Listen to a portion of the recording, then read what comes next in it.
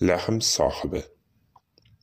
Janglarning birida musulmon qo'shinlari kuchli qal'a yonida jam bo'lishdi. Hech bir musulmon askari qal'ani ochishga musharraf bo'lishmadi va ular qal'a ichidagilar taslim bo'lgunlariga qadar qal'ani qamal qilishga qaror qilishdi.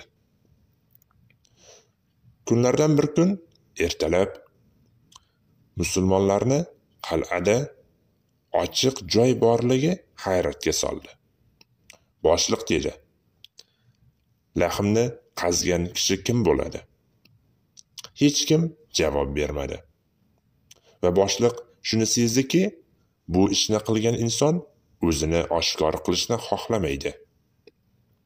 Boshliq dedi. Allohga qasamki lahm qazgan kishi tunda huzurimga kelsin. Tunda yuziga mato yopib olgan kishi boshliqning huzuriga kirdi. Boshliq dedi lahm qazgan kishi senmisan? U kishi ha deya javob berdi. Boshliq aytdi yuzingdagi narsani ol men seni kimligingni bilayin.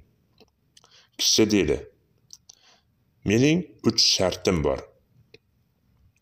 Birinchisi meni sizdan o'zga hech kim bilmasin. Ikkinchisi musulmonlarga beriladigan moldan ziyoda mol menga berilmasin. Va uchinchisi hozir lavozimim qanday bo'lsa bundan keyin ham shundayligicha qolsin. Boshliq bu fikrlarga rozilik bildirdi. Va bundan sezdiki kishi hech qanday riyo va shuhrat uchun emas xolis alloh roziligi uchun bu ishni qilgan ekan.